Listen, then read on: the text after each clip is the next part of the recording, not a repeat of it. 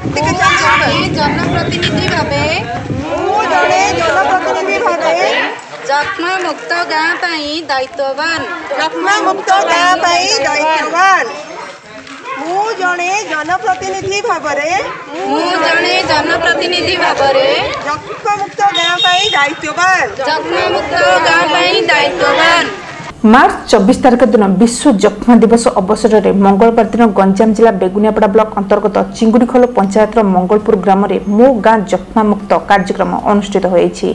ବହୁ ବର୍ଷ ଧରି ମଙ୍ଗଳପୁର ଗ୍ରାମରେ ଯକ୍ଷ୍ମା ବା ଟିବି ରୋଗରେ କେହି ପୀଡ଼ିତ ନଥିବା ବେଳେ ଏହି ଗ୍ରାମକୁ ସରକାରୀ ସ୍ତରରେ ଯକ୍ଷ୍ମା ମୁକ୍ତ ଗ୍ରାମ ଭାବରେ ଘୋଷଣା କରାଯାଇଛି ଏହାସହ ଉକ୍ତ ଗ୍ରାମରେ ଲେପୋର୍ସି ଭଳି ରୋଗ ମଧ୍ୟ କାହାକୁ ହୋଇନଥିବାରୁ ଉପସ୍ଥିତ ସ୍ୱାସ୍ଥ୍ୟ ଅଧିକାରୀ ଏବଂ କର୍ମକର୍ତ୍ତା ଖୁସି ବ୍ୟକ୍ତ କରିଥିଲେ ଉକ୍ତ କାର୍ଯ୍ୟକ୍ରମରେ କୋଦଳା ଗୋଷ୍ଠୀ ସ୍ୱାସ୍ଥ୍ୟକେନ୍ଦ୍ରର ପିଏଚ୍ଓ କବି ଦାସ ଏସ୍ଟିଏସ୍ ଗୀତାରାଣୀ ପାଢ଼ୀ ସରପଞ୍ଚଙ୍କର ପ୍ରତିନିଧି ଭାସ୍କର ଦାସ ମହିଳା ସ୍ୱାସ୍ଥ୍ୟ ପରିଦର୍ଶିକା Anita Mohanty AYUSH doctor Maitri Sanghamitra RBSK AN MP Gitanjali Achari এবং মঙ্গলপুর গ্রামবাসী উপস্থিত রয়েছে উক্ত কার্যক্রমে করোনা সচেতনতা সকাশে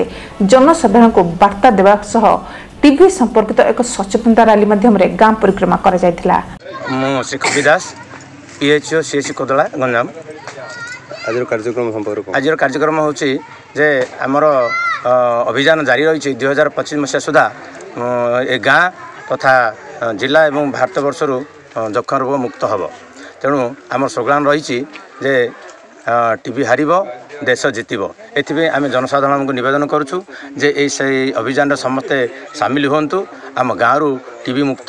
କରିବା ତେଣୁ ଏହି ପରିପ୍ରେକ୍ଷୀରେ ଆମର ଗାଁ ଯେଉଁଟାକି ଚିଙ୍ଗୁଡ଼ି ଖୋଲ ପଞ୍ଚାୟତ ଅଧୀନସ୍ଥ ଏଇ ମଙ୍ଗଳପୁର ଗ୍ରାମରେ ଆଜି ଟିବି ମୁକ୍ତ ଗାଁ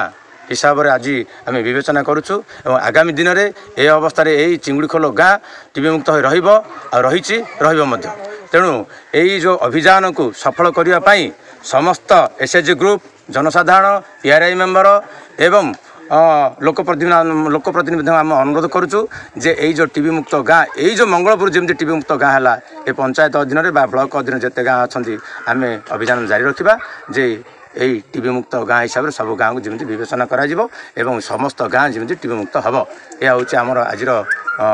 অভিযানর লক্ষ্য বেগুনিয়াপড়ার Bijay Nayak report Odisha mobile TV জনপ্রতিনিধি ভাবে जक्ष्मा मुक्त गाँ दायित्ववान जक्ष्मा मुक्त गाँ पाई दायित्ववान मुझे जनप्रतिनिधि भाव मुझे जनप्रतिनिधि भाव जक्ष्मा मुक्त गाँ पाई दायित्ववान जक्ष्मा मुक्त गाँ पाई दायित्ववान